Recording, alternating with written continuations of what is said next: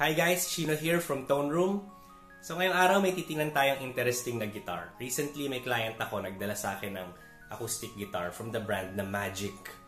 Kung hindi kayo familiar dun sa brand na to, usually nakikita niyo yung Magic guitars sa Facebook, sa marketplace, tsaka sa ibang uh, social media groups, tsaka pages. Meron silang acoustic guitars na medyo entry level, nag-range from 10k to 15k, Meron din naman medyo mahal konti, around 20k, 30k, pataas. So, nagdala sa akin yung isa kong client. Um, medyo interesting siya kasi siya yung mataas na model ng Magic. I think ito yung SD4000. So, dreadnought body, solid Sitka spruce top, um, Indian rosewood back and sides, ebony fingerboard. So, gusto niya itong pa-set up. So, chinek namin kung anong pwedeng gawin. May mga nakita kami sa guitars na pwedeng i-improve. Tapos, ayun, inayos namin. Magic. Dumating sa amin yung guitar. Actually, playable siya. Hindi siya mahirap masyado gamitin. Although, kahit playable siya, napansin ko, sala sa sukat yung guitar. Madali siya gamitin, kaso yung neck niya, sobrang nakabow. Na pag tinuwid mo yung neck niya, masyado namang mababa yung nut. Tapos makikita mo, masyado rin mababa yung saddle. Bone yung stock niya na saddle tsaka nut. Although in-advise ko sa client or sa owner nito, sabi ko, palitan na lang natin kasi hindi masyadong maganda yung cut ng nut and saddle, hindi masyadong maganda yung grade or yung quality ng bone na ginamit din. So, papakita ko sa inyo kung bakit hindi siya masyadong maganda.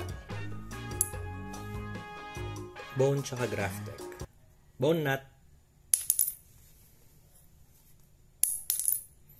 Graphtec.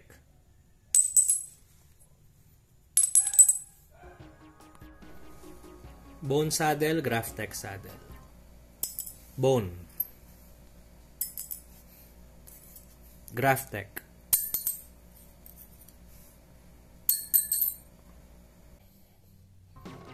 So, in-advise ko, magpalit na lang kami ng Graphtec na tusk kasi mas maganda yung material, mas matigas, mas consistent, tsaka mas malinis overall. So, itong guitar na to, sabi ko nga, solid Sitka spruce top, Indian rosewood, back and sides. Ganda. Gloss finish sa body, tapos matte naman yung neck. Ebony fingerboard, meron lang siyang isang inlay dito. Good na pickguard. Dark rosewood lang tong bridge. Hindi naman siya mukhang ebony. So, ayun. Kabit tayo ng Elixir Strings, Graphtec Tusk Saddle, Graphtec Tusk Nut, setup natin. Tapos, meron din siya ng tinatawag na Vertec preamp. Basically, meron ka lang ditong blend ng under saddle transducer at saka mic dito sa loob na nakakabit sa end pin jack. Yung end pin jack niya, meron namang onboard na EQ. Tapos, meron ka lang battery somewhere here. Dalawang CR2032. Ngayon, dalhin natin siya sa studio, record tayo ng ilang short sound clips. Check natin.